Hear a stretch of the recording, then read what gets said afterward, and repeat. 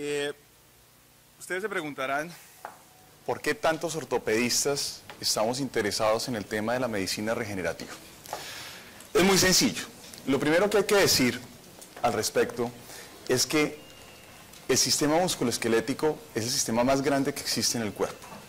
Mucho más grande que el sistema circulatorio, mucho más grande que el sistema respiratorio, más grande que el gastrointestinal, incluso que el mismo neurológico. ¿Por qué? Porque es el que nos da mecanismos de protección, es el que nos da mecanismos de locomoción, es el que nos da en realidad la vitalidad. ¿Qué sucedería si nosotros nos enfocamos solamente en la patología, digamos que somos médicos clínicos, un paciente hipertenso, obeso, diabético? Si nosotros descuidamos la parte de la locomoción, la parte osteoarticular, con seguridad que no vamos a poder realizar ningún tratamiento. ¿Quién de nosotros no le ha dicho a uno de estos pacientes es que usted tiene que hacer ejercicio, usted tiene que caminar? Pero a veces en esas recomendaciones nos olvidamos de lo básico, que tenemos que bajar de peso, que tenemos que cuidar nuestras articulaciones y por supuesto ahí es donde empezamos a actuar nosotros los ortopedistas. Nosotros hemos, sido relegados, yo no sé cómo es acá en Chile, pero por lo menos donde me he formado en Argentina, en Estados Unidos y en Colombia, somos como los bichos raros, los carpinteros, los que no sabemos sino poner tornillos, dar martillo, como el doctor Purita nos dijo ahorita, y nada más, que no sabemos absolutamente nada de ciencia. Pero eso viene cambiando, poco a poco, porque nosotros mismos nos hemos venido dando cuenta de lo difícil que es tratar a un paciente de manera aislada. Si nosotros no tenemos un paciente en unas condiciones óptimas para poder hacer nuestros tratamientos, van a fallar. Y ahí es donde empieza mi historia, mi historia como ortopedista. Yo me dedico sobre todo al área de artroscopia y al área de cirugía de rodilla. Y desde hace mucho tiempo yo venía con la inquietud, pero ¿qué pasa con estos trasplantes de rodilla que no están funcionando bien? ¿Qué sucede con estas prótesis? ¿Por qué tanta infección? ¿Por qué tantos problemas de rechazos? ¿Por qué la trombosis venosa profunda? ¿Por qué después de esto los pacientes tienen una sobrevida algunas veces buena, pero la mayoría de las veces no se recuperan al 100%? Persisten con dolor articular después de haber hecho la prótesis. Y el tema es muy sencillo. El tema es que nosotros tenemos que ir a las bases. Si ustedes recuerdan, nosotros mismos tenemos la capacidad de regenerarnos y de curarnos. Entonces, ¿por qué no echar mano de eso? ¿Por qué no pensar que en lugar de hacer una prótesis, que es lo más antifisiológico y antibiológico que hay, que es amputar la rodilla, porque es tal cual, amputar la parte distal del fémur, la parte proximal de la tibia, toda la superficie articular de la rótula, tirarla a la caneca y poner una prótesis de titanio, de cobalto, con algún tipo de polietileno, es lo más antifisiológico que hay. Nunca logran arcos de movilidad completos y siempre tiene alguna complicación. ¿Por qué no intentamos algo biológico? ¿Por qué no empezamos a, a, ver qué sucede con el plasma? ¿Qué sucede con las células? ¿Qué sucede simplemente con la fisioterapia?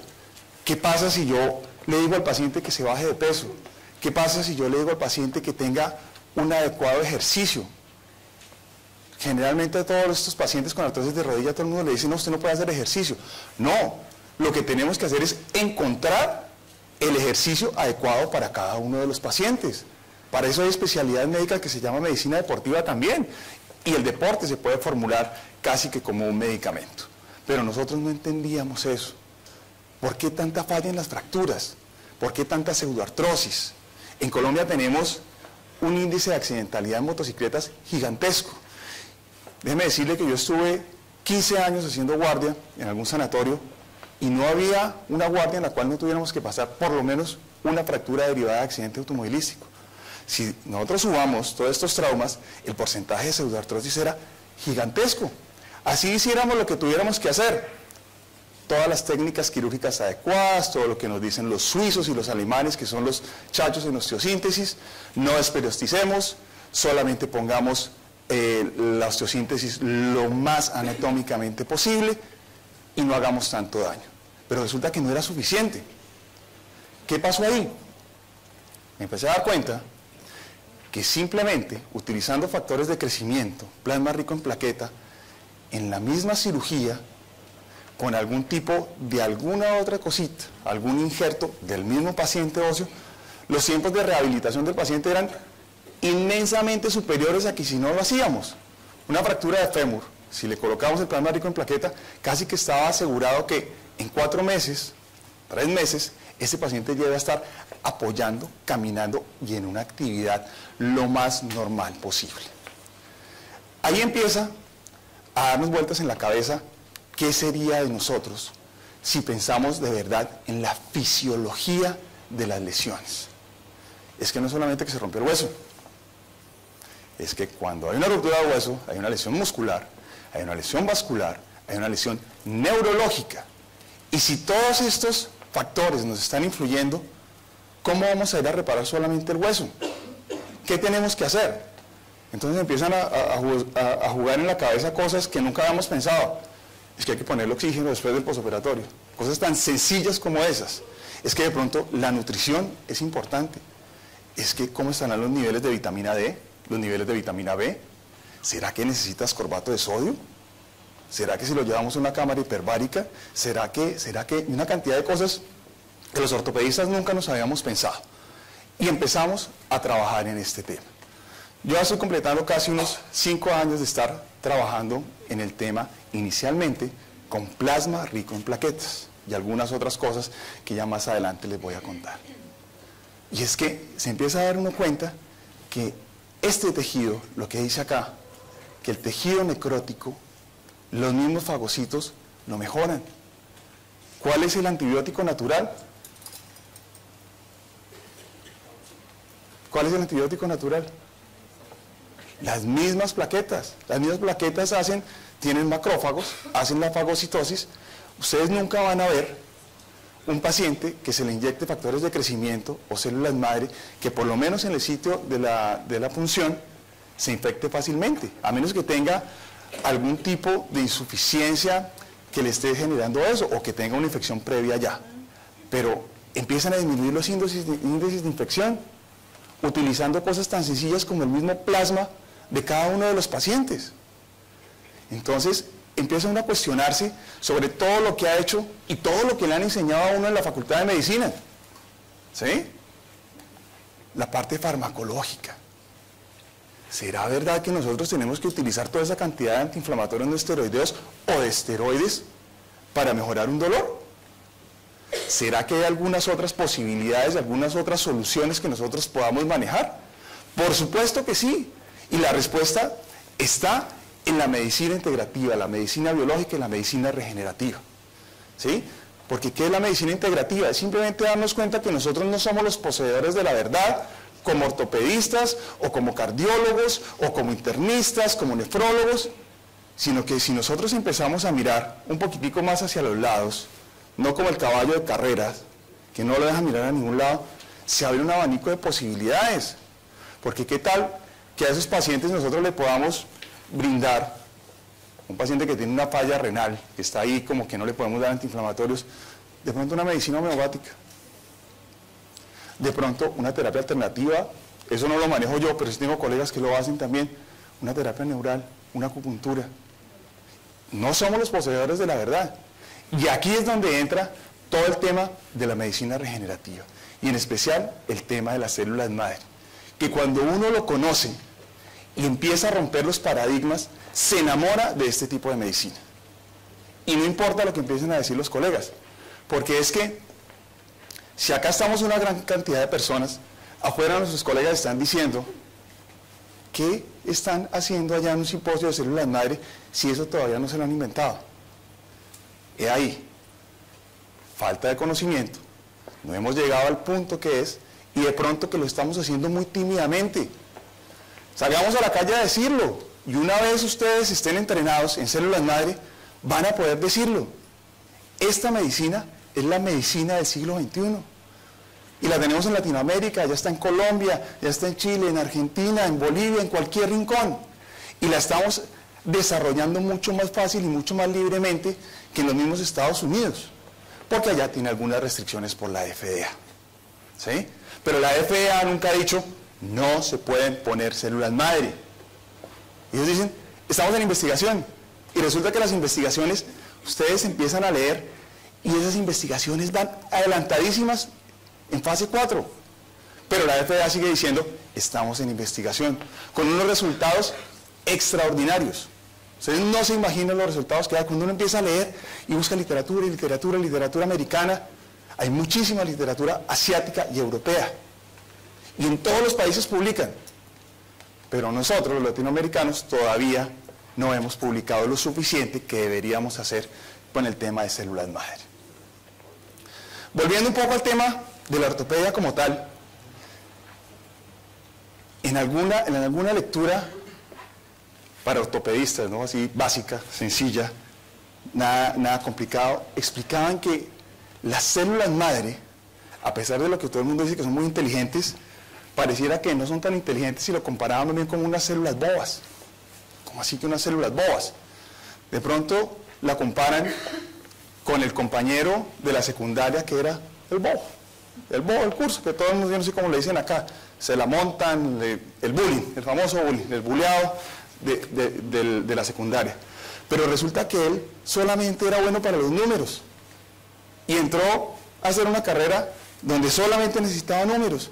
Y después el tipo se fue a hacer un posgrado, hizo un magíster, hizo un doctorado, hizo un PhD y resulta que el bobo de la secundaria es el jefe de todos nosotros ahora. ¿Por qué? Porque se especializó en una sola cosa. Y así es que hacen las células madre. Las células madre tienen la capacidad de diferenciarse y especializarse en una sola cosa. Y ellas están ahí listas, como unos obreros, para lo que nos llamen, para lo que necesitemos. Y eso es un arma que tenemos todos en nuestro cuerpo. En células madre hay un tema ético que han sido muy criticados, sobre todo en Estados Unidos, y es el tema de todas las investigaciones que se han hecho con células madre embrionarias. Eso se requiere de un aborto, eso se requiere de un tema bien complicado. Pero ahora que nosotros tenemos las células madre adultas, mesenquimales, con un proceso tan sencillo que se puede hacer en cualquier oficina de nosotros, en cualquier consultorio, ¿por qué no lo hacemos? ¿Es extremadamente costoso? No, no lo es. Que hay pacientes que lo necesitan y lo están buscando y además no saben que ya lo tienen en Chile y se van a buscarlo por fuera.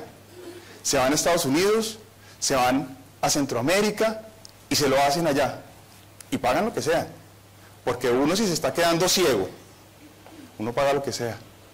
Si un paciente con artritis reumatoidea, con lupus, se está quedando inválido y le dicen que la célula madre es una posibilidad y que tiene un porcentaje cercano al 70% de mejoría cuando se hacen las aplicaciones, van y lo buscan donde sea. ¿Por qué no nosotros empezamos a hacer eso? ¿Por qué no somos pioneros? ¿Por qué no hacemos los cursos? ¿Por qué no empezamos a leer? Tenemos que romper el paradigma. Y al romper el paradigma, van a ver ustedes la cantidad de éxito que se va a tener. Publicaciones por donde quieran. Uno pensaría que las células madre que más funcionan para el sistema articular son las células madres tomadas del hueso, las hematopoyéticas. Pero no, resulta que hay muchos estudios que muestran que el tejido graso puede llegar a ser mejor en los temas intraarticulares en ortopedia. Entonces, ¿yo cómo hago si tengo que sacar grasa de un paciente y yo no sé hacer una liposucción? Resulta que es que solos no podemos y tenemos que asociarnos.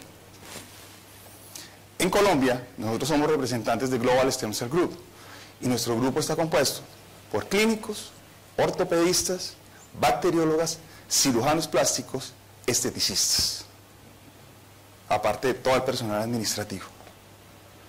Si yo necesito una liposucción, tengo el personal idóneo, porque es que tampoco podemos empezar a caer en la gran mentira de que yo puedo hacer todo. No se trata de eso. Y por eso es que estos tratamientos a veces los catalogan de que son mentiras, de que son charlatanes, porque es que si sirve para todo, eso es imposible. De eso tan bueno no dan ningún lado.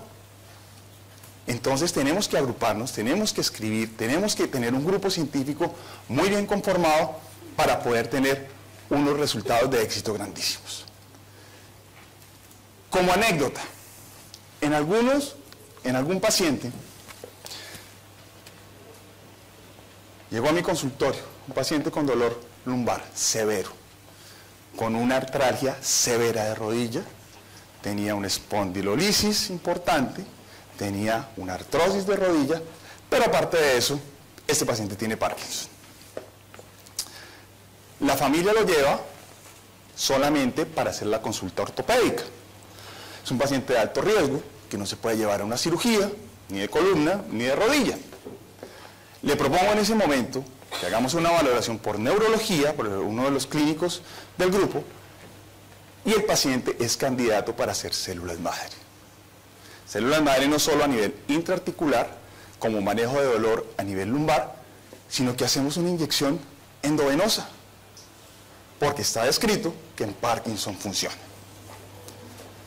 El paciente va muy bien, se mejora de su dolor de rodilla, por supuesto de su dolor lumbar, un paciente que estaba casi que postrado hacia un año, ya está saliendo a hacer algunas vueltas cerca de su casa, ya sale de su habitación y le cambia la vida a él y a su familia. Lo cuidaba una hija, que esta hija tenía que levantarse todas las noches dos veces para llevar al baño a su papá. Hacía más de dos años, esta hija no dormía una noche completa.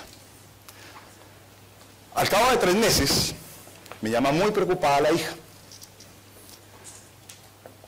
Me preocupo yo mucho porque ella me dice que tiene que hablar seriamente conmigo.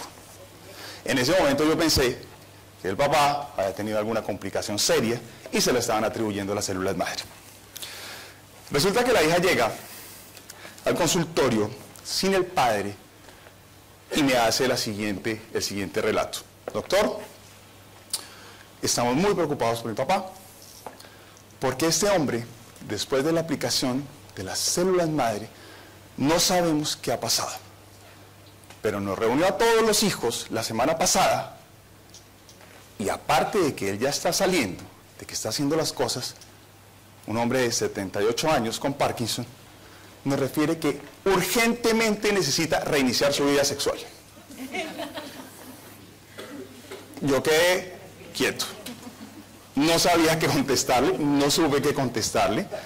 El caso es que esta anécdota va para demostrar cómo funciona la medicina antienvejecimiento, cómo funciona la parte regenerativa a nivel neurológico, a nivel vascular y a nivel muscular. En cuanto al tema de la condrogénesis que puede realizar las células madre, es lo único que se ha comprobado que es eficiente hasta el momento. Existen y están corriendo muchos estudios, nosotros lo estamos haciendo en Colombia también, en el cual uno le hace a un paciente con artrosis una artroscopia, en el cual tiene la visualización directa de la articulación, coloca células madre y al cabo de seis meses se hace un second look y se ven unos resultados fantásticos, una cobertura de condrocitos de cerca de más del 80%. Mucho más que las microfracturas que se hacían antes, mucho más que el trasplante de condrocitos que son extremadamente costosos y que no funcionan tan bien. En la década del 2000 al 2010, a nivel mundial, se denominó la década de la investigación del el cartílago. Y yo estoy seguro que no se adelantó absolutamente nada. El, el Nobel en ese en ese periodo se lo ganó un investigador de células madre, pero de cartílagos nadie pudo hacer nada. Seguro que no se adelantó más que esto.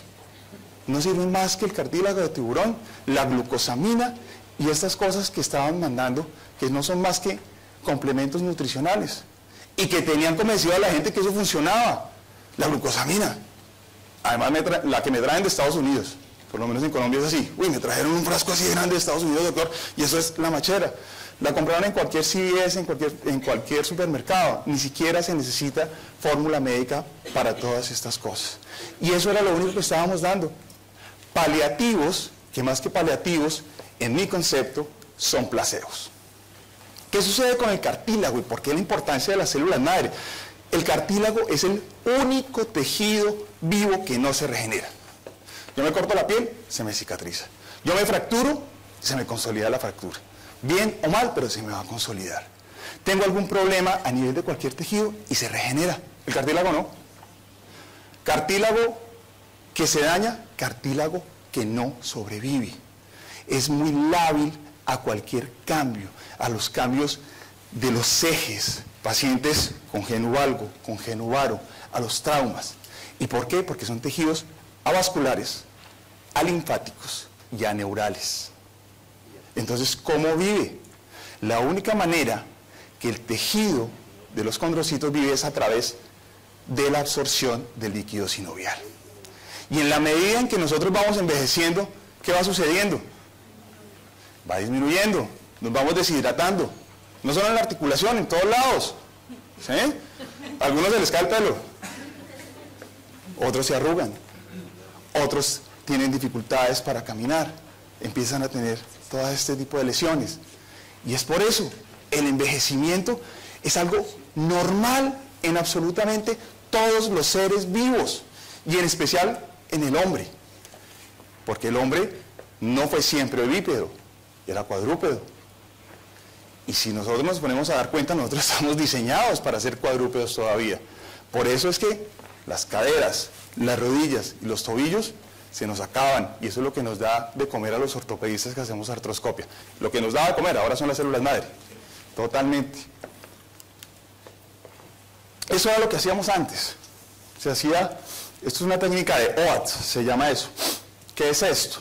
En la parte, morimos ahí. Bueno, puedes retroceder eso, por favor.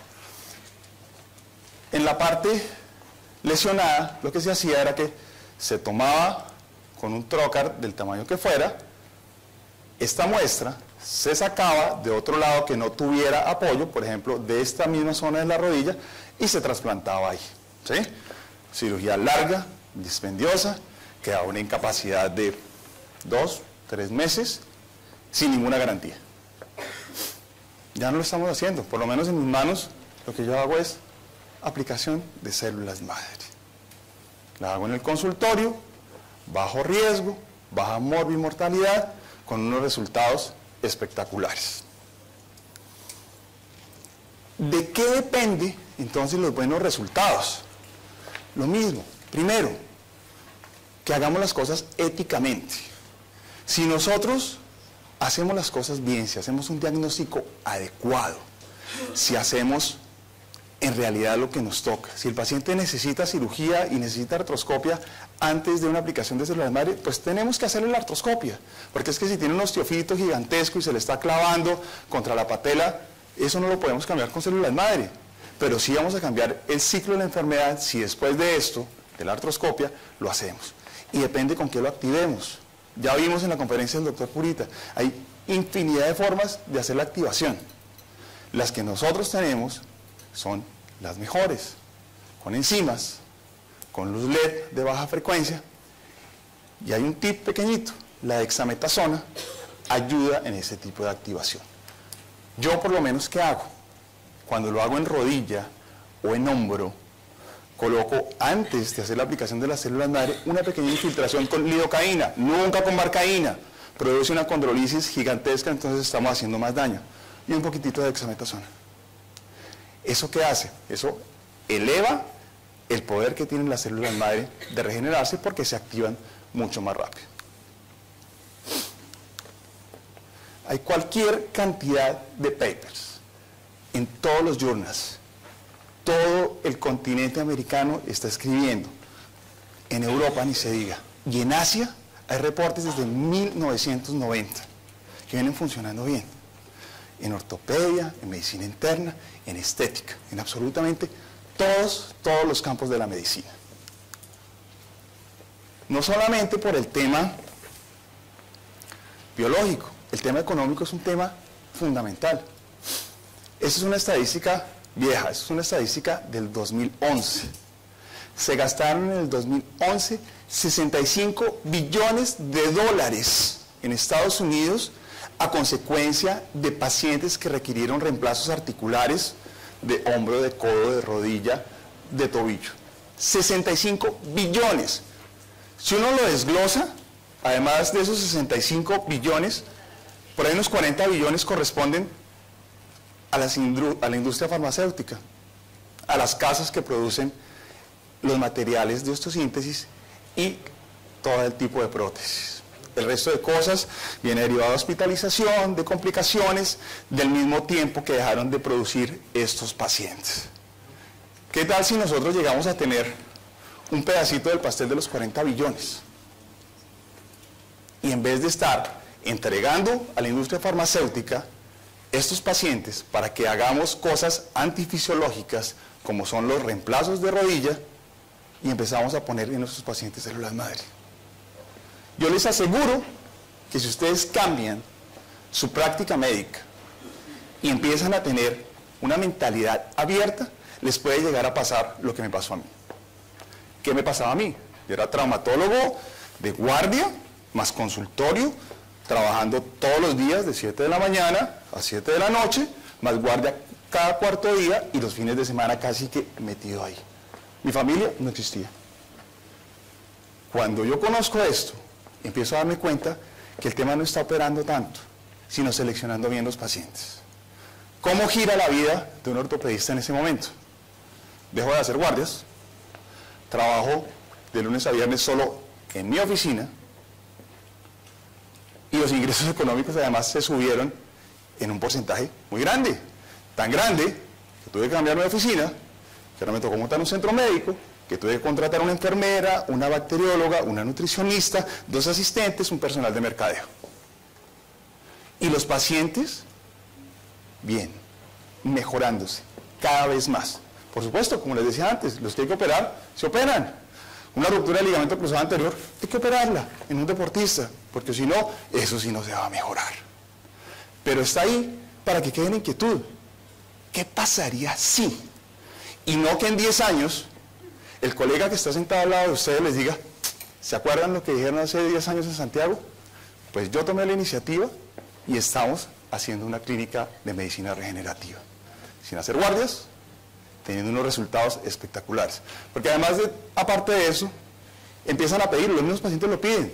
Entonces las hijas de los pacientes dicen, doctor, ¿eso no sirve para la rugita? Y mi esposo que es calvo, ¿eso no le sirve para eso? Y claro que funciona. Y como estamos asociados con esteticistas y con cirujanos plásticos, ahí hay para todo el mundo. La medicina regenerativa es la medicina del siglo XXI que está para todo el mundo en este momento. Ustedes recordarán esta imagen. Ronaldo, deportista de alto rendimiento, que tuvo una lesión de ligamento rotuliano. Lo operan, lo tratan, el paciente queda con un dolor crónico y le siguen infiltrando. ¿Pero qué le infiltraban en ese momento? Simplemente le infiltraban, bien sea corticoides más lidocaína, lo cual hace una bomba en los tendones, sobre todo en esos pacientes que están expuestos a tan altas cargas eh, fisiológicas a nivel de los tendones. ¿Qué pasa al cabo de un año? Lo que tenía que pasar.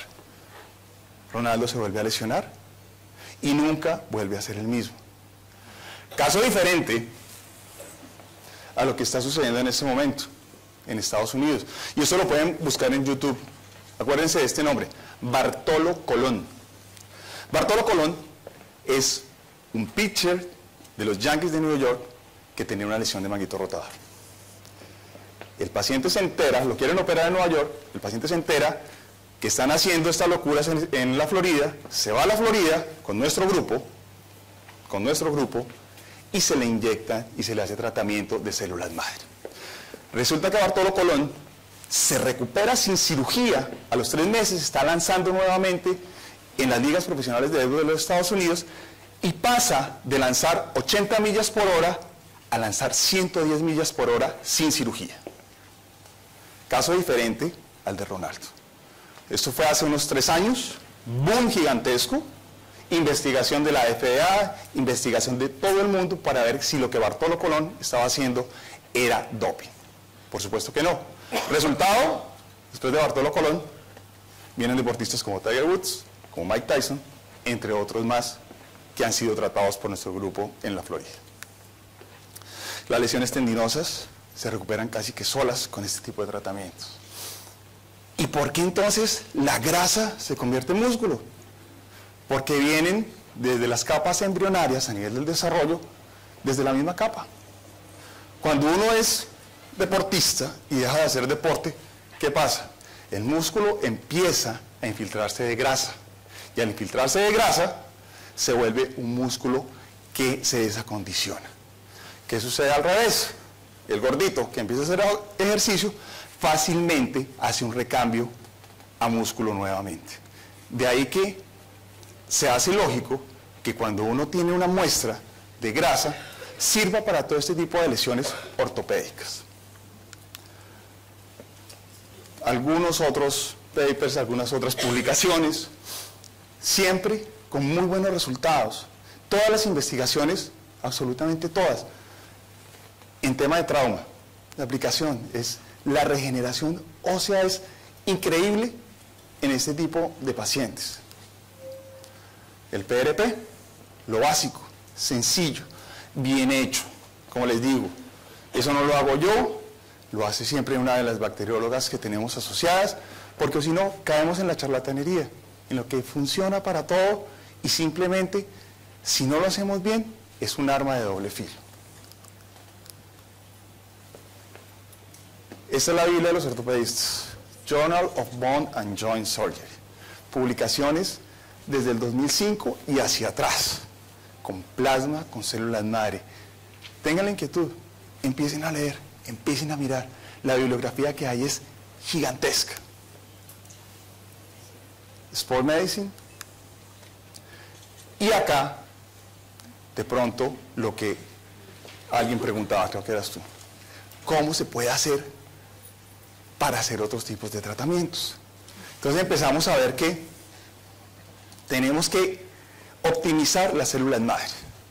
En un paciente fumador, un paciente sedentario, un paciente que no hace ejercicio, con hipercolesterolemia, con algunos otros antecedentes como diabetes, ¿cómo vamos a asegurar que las células estén bien si de pronto son células enfermas? ¿Los podemos preparar? Tenemos que vencer el estrés oxidativo, uno de los enemigos ocultos. Nunca pensamos en esas bases biológicas de la célula. ¿Y qué es el estrés oxidativo? Todo aquello que no nos permite un adecuado intercambio de la célula. La membrana celular está completamente tapada de receptores y no deja ni que entren nutrientes para producir adecuada energía a nivel mitocondrial, ni no nos deja sacar todo el subproducto de la célula. Pero con estas cosas, haciendo todo este tipo de terapias, ascorbato de sodio, glutatión, ¿quién ha oído hablar de glutatión? Antioxidante potente. Es el máximo antioxidante que existe sobre la Tierra. ¿Dónde se consigue el glutatión? Adentro. El glutatión está adentro, por supuesto que lo sintetizan. En cambio, ¿cuál es el siguiente antioxidante después del glutatión? La vitamina C. ¿Sí? ¿Y dónde se consigue la vitamina C aparte de la naranja? ¿En el cuerpo? La única vitamina que no sintetiza el hombre es la vitamina C. Ustedes se acordarán en los viajes de Colón que se morían de escorbuto. ¿Sí? sí. Y era por eso. Porque la vitamina C no la sintetizamos. Pero sí existen laboratorios que la sintetizan y eso es lo que nosotros utilizamos en forma de sal. Acordémonos que existe el ascorbato de sodio y el ácido ascórbico. Pero nosotros, ¿qué tenemos que hacer? Tratar de acidificar el medio o alcalinizarlo. Alcalinizarlo. Por eso es que es mucho más efectivo hacer una terapia previa con ascorbato de sodio. Con algunos otros componentes, el sulfato de magnesio, la vitamina B, entre otros. Muy similar a lo que hablaba el doctor Purita, nosotros estamos haciendo casi que de rutina algo que se llama el protocolo GOSPA. El protocolo GOSPA, si bien es hecho en Colombia, ¿sí? está tomado de muchas otras cosas. ¿Qué hacemos nosotros? Sencillo. Tenemos la forma de hacer medición del estrés oxidativo en una máquina que tenemos allá que nos muestra qué tan alto es el nivel de estrés oxidativo y si necesita o no necesita una terapia previa. Nosotros generalmente a los pacientes que tienen un estrés oxidativo elevado le estamos haciendo tres dosis de ascorbato de sodio, megadosis, entre 30 gramos a 50 gramos de ascorbato de sodio endovenoso. más dos o tres sesiones de cámara hiperbárica previo a la obtención y sustitución de células madre. Dentro de la transferencia de células madre, cuando uno no conoce el tema, a uno se le hace primero que es dificilísimo, que es complicadísimo, que es una cosa, como decían hace un rato, de volver al futuro. No, es muy sencillo. Las células se encargan de todo. ¿Y para qué sirven? Para todo. Pacientes con Parkinson, pacientes con disfunciones eréctiles, pacientes con Alzheimer, con diabetes, con hipercolesterolemia, con dolor. Pacientes con dolor, con fibromialgia. ¿Quién ha tratado acá pacientes con fibromialgia? ¿Fácil de tratar? Difícil, difícil, ¿cierto? Pero si uno mete a estos pacientes en estos protocolos, identifica los puntos gatillo y empieza a hacer bloqueos, yo lo empecé a hacer con PRP y ahora lo estoy haciendo con células madre, más el ascorbato de sodio que limpia el estrés oxidativo, mejora el tema de la fatiga crónica, que es un tema importantísimo en la fibromialgia, porque al limpiar y al barrer el estrés oxidativo las células empiezan a funcionar muchísimo mejor. Hacemos esos bloqueos y lo complementamos con ondas de choque y lo complementamos con cámara hiperbárica y lo complementamos con una confianza que le damos al paciente, además de que se va a mejorar, porque son pacientes que están cansados de visitar a todos los colegas, porque todos los colegas le dicen, no, es que es psicológico, es que usted no tiene nada, es que eso es, un diagnóstico por descarte y para eso no hay nada que hacerle a descansar a la casa. Tenemos posibilidad de mejorar esas cosas. ¿Por qué no nos metemos por ese lado? ¿Por qué no investigamos sobre fibromialgia y células madre y nos metemos por ahí? Fibromialgia, cámara hiperbárica, ascorbato de sodio, células madre y en el posoperatorio alguna de las citoquinas que están disponibles. Seguro que vamos a tener éxito en un porcentaje muy, muy importante. Eso es en, mi consultorio. Así queda el plasma.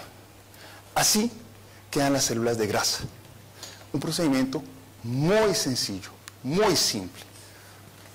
La toma, esa es la aguja de Ramfac, la cual no necesitaría de centrifugado. Simplemente, esa fue la aguja que mostró el doctor Purita, que tiene en, la parte distal unos pequeños agujeros. Se va desentorchando, se va aspirando y ahí van saliendo las células mesenquimales. Sin necesidad de centrifugado, sin necesidad de activación con enzimas, simplemente con el Light. ¿Mm? Yo personalmente, aparte de tomarla con la aguja de rampa, igual hago todo el proceso, porque quiero asegurarme que las cosas salgan muy bien. ¿sí? ¿Y cuál es la infraestructura que tenemos que tener? Para una cadera es un poco más complicado porque necesitamos tener el intensificador de imágenes, necesitamos tener algo de sedación, porque primero no es fácil llegar intraarticular a la cadera y tenemos que asegurarnos, asegurarnos que estamos en el sitio. ¿Qué tal que dejemos las células madres por acá? Por osmosis sí no van a llegar. Y ahí estamos asegurando total fracaso. Hagamos las cosas bien. Enamorémonos de la medicina integrativa, de sobre todo las células madres porque los tratamientos son espectaculares. Esta paciente estaba programada para un reemplazo total de cadera. Paciente que llega, le hacemos el bloqueo, le hacemos la terapia con cámara hiperbárica, con ascorbato de sodio, colocamos la célula de madre, esto lo hacemos en quirófano, porque necesitábamos sedación y el intensificador de imágenes, y la paciente ya retornó a su actividad física normal. Baila, trota sin necesidad de un reemplazo de cadera. ¿En cuánto tiempo lo va a necesitar? Ojalá que nunca. Educación al paciente, ejercicio adecuado, no sobrepeso, buena dieta, mucho antioxidante.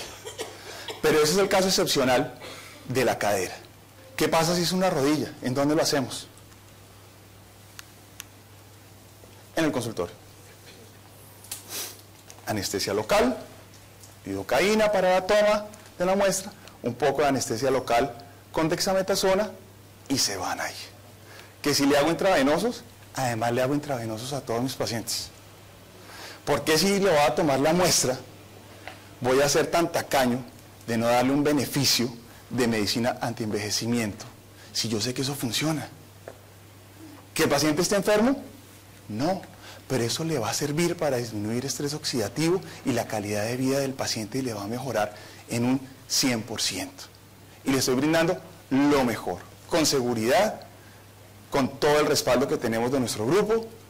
Y los pacientes, un paciente trae a otro, trae a otro todo el tiempo. Este es el caso, esta es la oficina, es muy sencillo. Esta de acá es la máquina de ondas de choque, que manejamos sobre todo para dolor. Es muy sencillo. ¿Qué equipamiento necesitamos? Para la toma, nada. Yo hago la toma en el consultorio, vienen del laboratorio mis bacteriólogas, se la llevan al laboratorio y me la regresan en una hora. Aplíqueles. No necesité de absolutamente nada más. Este es un caso, es una paciente conocida. Es más, este caso lo hizo el doctor Enrique en febrero de este año. ¿De acuerdo? Le hicimos en ambas rodillas, sobre todo tenía una condromalacia severa en esta rodilla. La paciente llega al consultorio buscando alguna alternativa, sabe que estamos haciendo células madre y para un entrenamiento como el que vamos a tener este fin de semana, le decimos, vaya, a ver qué pasa. Le hacemos la preparación y la paciente llega con esta tomografía. Fíjense que hay cero espacio articular en esta parte. Esto es febrero del 2015. Y la tenían programada para los 15 días a mediados de febrero, hacerle un reemplazo total de rodilla. Una paciente de 65 años, activa, que hacía gimnasio. Le hacemos la célula madre y fíjense lo que sucede a los tres meses. ¿Recuerdan cómo estaba la imagen completamente pegada? Y esta tomografía es del lunes pasado. Fíjense el espacio. ¿Cómo no voy a creer yo en la medicina regenerativa si estoy viendo que los pacientes se mejoran y que además de todo tengo estas imágenes diagnósticas en las cuales los resultados saltan a la vista. Tendría que ser uno muy ciego para no creer en la medicina regenerativa. Y si nosotros no creemos, hay gente que sí cree.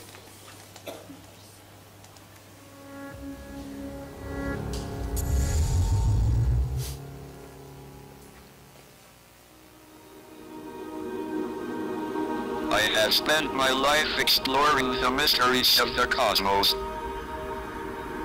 But there's another universe that fascinates me. The one hidden inside our bodies. Our own personal galaxies of cells. Today, we are on the brink of a new age in medicine. An age where we will be able to heal our bodies of any illness all because of cells inside us, which have special powers.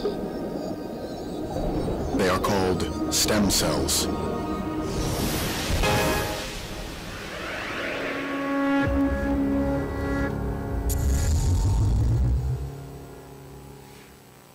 Pues este hombre, con una esclerosis lateral amiotrófica, cree que el futuro para los pacientes con esclerosis lateral amiotrófica está en las células madre.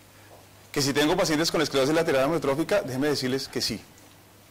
¿Cómo lo hacemos?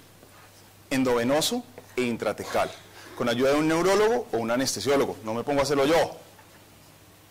Faltaba más. Para eso están ellos. Pero lo está diciendo este personaje, que es uno de los hombres de ciencia del siglo XXI. Así que enamórense. Yo me enamoré de esto y mi vida cambió totalmente. Y yo espero que algún día me dejen de ver de esta manera, porque en realidad yo soy, es así. Señores, señoras, doctores, doctoras, crean en la medicina regenerativa, crean en estos procesos, generen sus propios protocolos. Cada uno de sus pacientes se los va a agradecer. Pero en realidad el que más les va a agradecer a ustedes que empiecen a tratar sus pacientes con este tipo de medicina por el cambio de vida que van a tener son las verdaderas células madre que están en su casa. Muchas gracias.